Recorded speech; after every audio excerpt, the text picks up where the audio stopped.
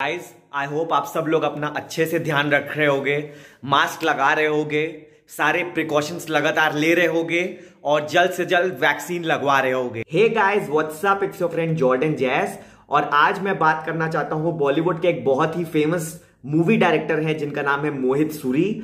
बात करेंगे उनकी मूवीज़ के बारे में और उनके करियर के बारे में। सो बेसिकली मोहित सूरी जो है, वो रिलेटेड तो है भट्ट भट्ट फैमिली से।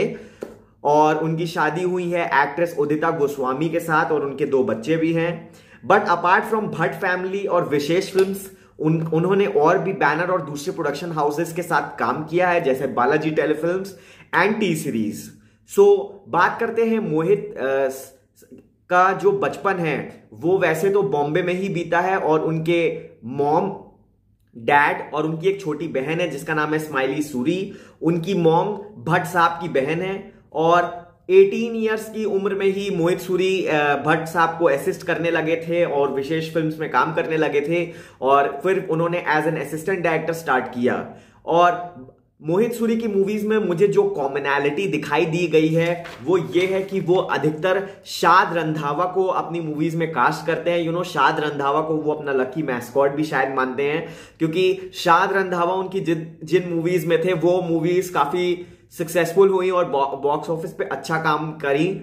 और उनकी जो मोस्टली मूवीज़ होती है वो कोरियन और अमेरिकन मूवीज़ से इंस्पायर्ड हो सक होती हैं या फिर उनका रीमेक होती है यू you नो know, उनकी मूवी में एक और उनकी मूवीज़ में मैंने एक और कॉमनैलिटी देखा है कि उनकी मूवी में एक जो मूवी होती है वो simple and straight chronological order में नहीं चलती है बल्कि वो उसमें एक टाइम रैप टाइप का होता रहता है पैरेलल चलती रहती है पीछे का टाइम और प्रेजेंट का टाइम यू नो पास्ट और प्रेजेंट वो साथ में लेके चलते हैं और उसको, उन सीन्स को दिखाते रहते हैं साथ में ही यू नो हाँ मैंने उनकी मूवी में ये कॉमनैलिटी अधिकतर मूवीज़ में देखी है।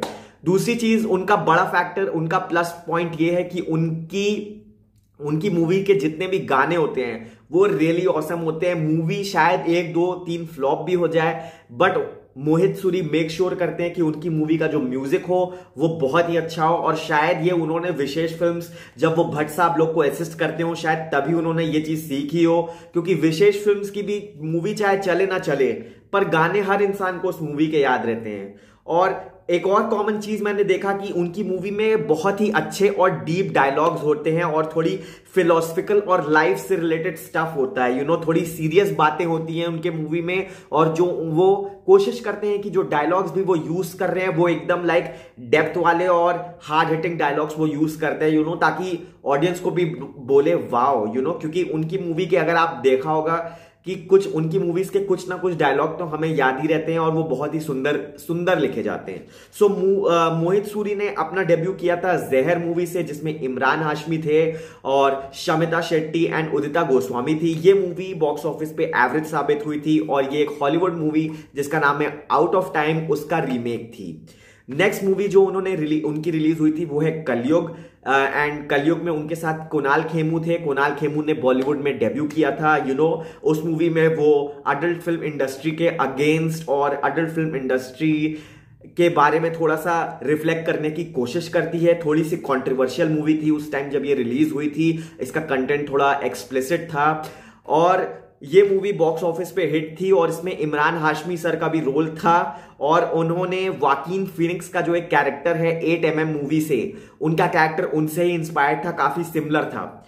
नेक्स्ट उनकी मूवी थी वो लम्हे। Woh Lamhe stars Shiney Ahuja and Kangana Ranaut. वैसे वो लम्हे जो है, वो महेश भट्ट की एक पर्सनल मूवी इसलिए है क्योंकि इस मूवी में महेश भट्ट और परवीन बॉबी का जो रिलेशनशिप था, वो दिखाने की कोशिश की गई है कि कैसे परवीन बॉबी को बीमारी हो गई थी स्केंजोफ्रेनिया एंड लाइक वो बहुत ही डरती थी और उनके और महेश भट्ट के बीच का क्या रिलेशन या रोमांस था, वो दिखाने की कोशिश की गई थी। खैर, ये मूवी बॉक्स ऑफ़िस पे इतना कुछ कमाल नहीं दिखा पाई थी बट स्टिल इसने अपने पैसे रिकवर कर लिए थे और इसके भी गाने काफ़ी औसम थे, काफ़ी आज भी हमें इस मूवी के गाने याद हैं। यू नो नेक्स्ट जो उनकी मूवी थी वो है राज द मिस्ट्री मतलब Raaz Raaz the mystery continues मतलब राज टू यू नो पहली राज तो बिपाशा बासु वाली थी बट इसमें उन्होंने फिर से इमरान हाशमी के साथ और कंगना रनौत के साथ काम किया था, और ये बॉक्स ऑफ़िस पे ये मूवी ने अच्छा बिज़नेस किया था, और बहुत लोग कहते हैं कि ये रिंग टू से और एक मूवी है गौथिका उससे थोड़ी बहुत इंस्पायर्ड है। ये भी बॉक्स ऑफ़िस पे ठीक साबित हुई थी।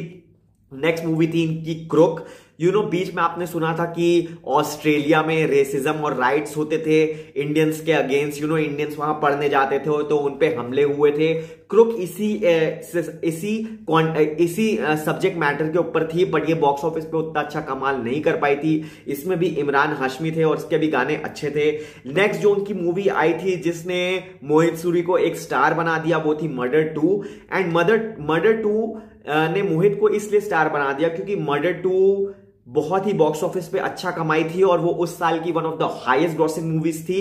ये एक हॉरर साइकोलॉजिकल थ्रिलर मूवी थी जिसमें इमरान हाशमी थे और साथ में उनके जैकलीन फर्नांडिस भी थी यू you नो know, जिसमें एक evil psycho killer is on the loose जो कि गर्ल्स को किडनैप करके उनका मर्डर ही कर देता था और इमरान हाशमी को उसे चेस करना था। और ये मूवी थोड़ी हॉरर और साइको टाइप की थी और ये एक हॉलीवुड कोरियन मूवी है द चेजर उससे इंस्पायर्ड थी, उससे, उसका ही रीमेक थी। नेक्स्ट मूवी थी उनकी आशकी टू इस मूवी ने पूरा गेम ही बदल दिया और आशकी टू हर इंसान जितने भी लोगों ने देखी है सब लोग आशिकी टू को अप्रोएस करते हैं, चाहे वो उसके गाने हो, चाहे वो उसके डायलॉग्स हो, चाहे वो राहुल जयकर की जो उस मूवी में बर्बादी दिखाई गई है और अदिति का उसके प्रति जो आरोही का सॉरी जो लगाव है, जो ये दिखाया गया है ये इमोशनल ड्रामा दिखाया गया है वो बहुत ही यूनिक था और ये एक मूवी है अ स्टार इज़ बॉर्न उससे इंस्पायर्ड थी, वैसे अ स्टार इज़ बॉर्न के बहुत सारा रीमेक बन चुके हैं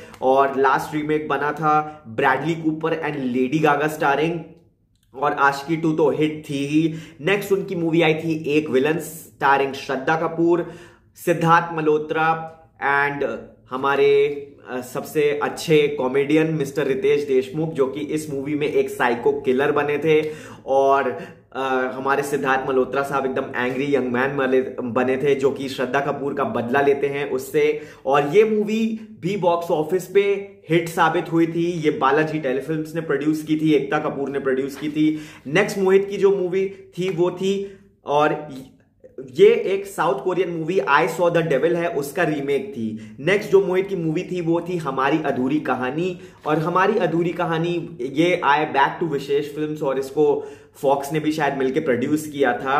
और ये एक रियल लाइफ कहानी थी। भट्ट साहब के मॉम डैड की लव स्टोरी कह रहे हैं, उसके ऊपर बनी थी। पर ये मूवी बॉक्स ऑफ़िस पे कुछ इतना कमाल नहीं दिखा पाई थी। बट स्टिल मैंने ये मूवी देखी है and it's a really one time watch you know it's it's ठीक है यार, एक बार आप देख सकते हो। नेक्स्ट मूवी थी मोहित ने मोहित ने इस बार फिर से एकता कपूर और चेतन भगत के साथ कोलैबोरेट किया और उन्होंने निकाला।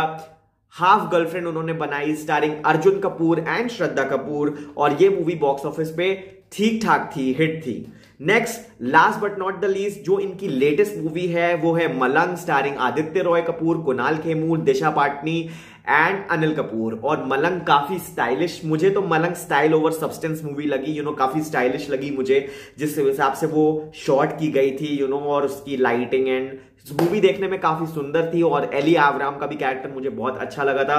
बट स्टिल अभी तक लोग पता नहीं लगा पाए हैं कि मलंग किस मूवी से कॉपीड या इंस्पायर्ड है, किस कोरियन मूवी से। बट मैंने अभी जॉनी डेप की एक मूवी देखी है, उसका नाम है ब्लो सो मुझे लगता है मलंग का थोड़ा बहुत कॉन्सेप्ट और थोड़े बहुत सीन्स ब्लो से इंस्पायर्ड है, क्योंकि एक सीन मैंने एकदम सिमिलर ढूंढ लिया ब्लो में, जो मलंग में था। सो मुझे लगता है मलंग का कॉन्सेप्ट उसी मूवी से इंस्पायर्ड है, क्योंकि Blow is a drugs crime movie और मलंग भी थोड़ी बहुत ड्रग्स क्राइम मूवी है। सो so, ये थी मोहित की पूरी फिल्मोग्राफी और मलंग भी बॉक्स ऑफ़िस पे हिट है हिट साबित है। टी सीरीज़ ने इसे T series and Northern Lights ने मिलकर इसे प्रोड्यूस किया था और यशराज ने इसे डिस्ट्रीब्यूट किया था। फ्यूचर प्रोजेक्ट प्रोजेक्ट्स की अगर बात की जाए तो मोहित बना रहे हैं Ek villain return T series उसे प्रोड्यूस कर रही है और साथ में वो मलंग टू भी लिख रहे हैं। सो so, ये थी पूरी जर्नी अबाउट मोहित सूरी और आप बताइए आपको इनमें से कौन सी मूवी अच्छी लगती है और मेरा चैनल जल्दी से सब्सक्राइब कर दीजिए। Okay guys take care lots of love and last but not the least Mohit Suri की एक अंडररेटेड मूवी के बारे में बात करना चाहूँगा, वो है Awarapan released in 2007 starring Emraan Hashmi, Shaad Randhawa and Ashutosh Rana basically ये मोहित सूरी की फ़िल्म बॉक्स ऑफ़िस पे तो उतना कमाल नहीं कर पाई थी बट इसे मोहित सूरी और इमरान हाशमी की one of the most underrated movies and one of the best movies में इसको कंसिडर किया जाता है। ये भी एक कोरियन मूवी का रीमेक है जिसका नाम है अ बिटर स्वीट लाइफ और आवारापन के भी गाने बहुत औसम थे और इसकी स्टोरी बहुत ही यूनिक है। और आज भी इस मूवीज़ के इस जिन लोगों ने इस मूवी को देखा है वो इसके रियली फ़ैन है और इसे रियली अप्रिशिएट करते हैं। सो so, ये था my take on Mohit Suri's movies आप बताइए, आपकी इनमें से कौन सी फेवरेट थी? And please do subscribe and and take good care of yourself thank you guys lots of love